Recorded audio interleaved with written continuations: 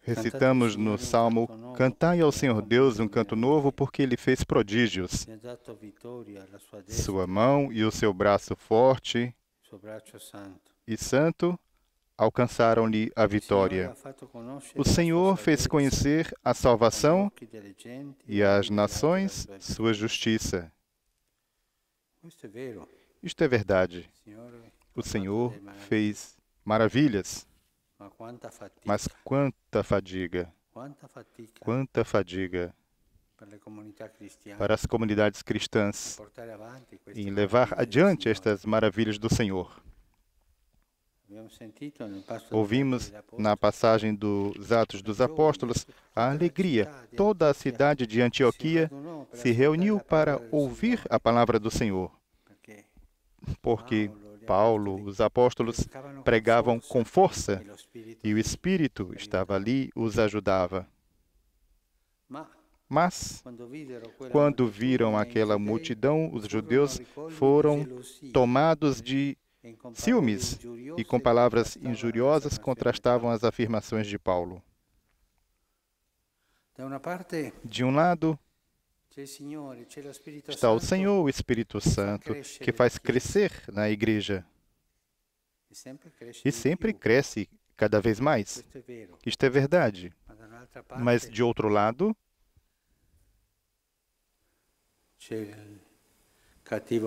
há o mau espírito que busca destruir a igreja.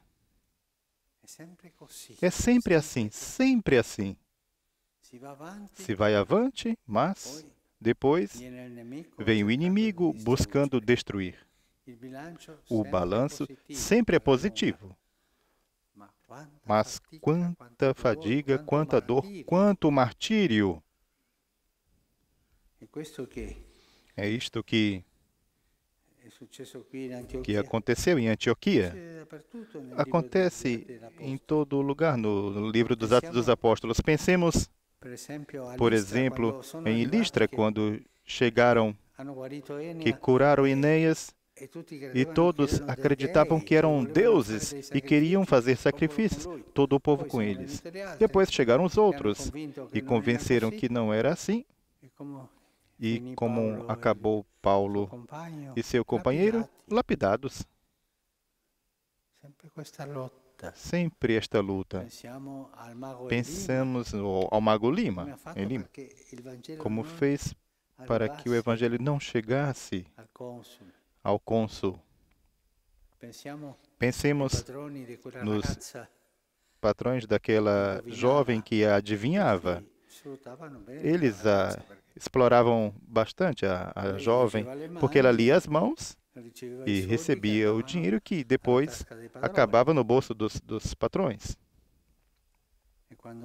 E quando Paulo e os apóstolos una mostraram que isto era mentira, que não estava bem, imediatamente a revolução contra eles.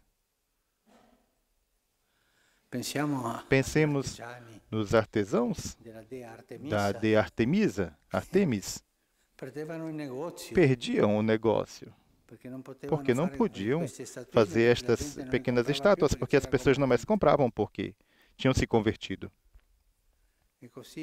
E assim, um após outro. De uma parte, a palavra de Deus que, que convoca, que faz crescer, de outro lado, la a perseguição. E grossa, E penso, acaba-se via, expulsando-os, batendo neles. E qual é o instrumento? diavolo do diabo para destruir o anúncio evangélico? A inveja. O livro da sabedoria nos diz claramente: por inveja o diabo do, do diabo entrou o pecado no mundo. Os ciúmes, sempre este sentimento amargo, amargo. Esta gente via como se pregava o evangelho e se enraivecia. si rodevano il fegato di rabbia. enraiveciam-se. E esta raiva levava adiante. Era a raiva do diabo, a ira que destrói, a ira daquele cru- crocifisso, crucifica-o, daquela tortura de Jesus, quer destruir sempre, sempre. Vendo esta luta, também vale para nós aquele dito tão belo. A igreja segue adiante entre as consolações de Deus e as perseguições do mundo. Uma igreja que não tem dificuldades. Falta alguma coisa. O diabo é tropo- po- demasiadamente tranquilo. E se o diabo está tranquilo, alguma coisa não, não funciona.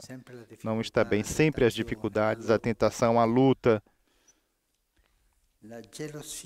os ciúmes, o ciúme que destrói. O Espírito Santo faz a harmonia da igreja e o mau espírito destrói. Até hoje. Até hoje. Sempre questa lotta. Sempre esta luta, não?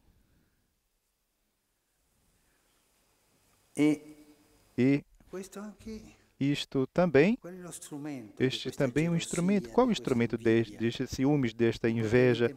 Os poderes temporais. Aqui nos diz que os judeus instigaram as mulheres ricas detto, "Ma questi sono e rivoluzionari". assim as convenceram de que eles eram revolucionários, expulsem-nos. E uma falou com a outra e assim fizeram tudo. As mulheres ricas e também as pessoas influentes da cidade. O poder temporal.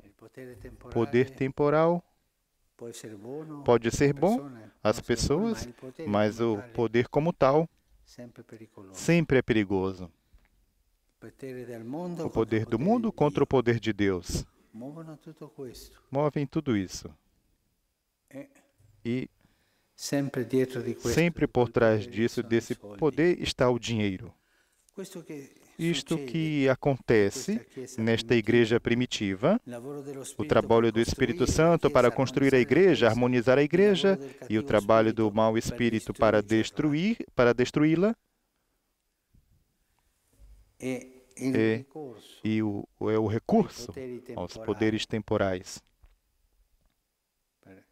Para frear a igreja, destruir a igreja, não é nada mais que um desenvolvimento, accade um desdobramento daquilo que acontece na manhã da ressurreição. Os soldados, vendo aquele triunfo, foram até os sacerdotes. E compraram a verdade, os sacerdotes. E a verdade foi silenciada. Desde a primeira manhã da ressurreição, o triunfo de Cristo, há essa tradição, essa traição, este silenciar a palavra de Cristo, silenciar o triunfo da ressurreição com o poder temporal, os chefes dos sacerdotes e o dinheiro. Estejamos atentos, estejamos atentos com a pregação do Evangelho, de, para não cair jamais, jamais colocar a confiança nos poderes temporais. E no dinheiro. A confiança dos cristãos é Jesus Cristo. É o Espírito ha Santo que ele enviou. E propriamente o Espírito Santo é o fermento, a força que faz a igreja crescer. Sim, a igreja vai avante, segue adiante, em paz, com resignação, alegremente, entre as consolações de Deus e le e as perseguições do mundo.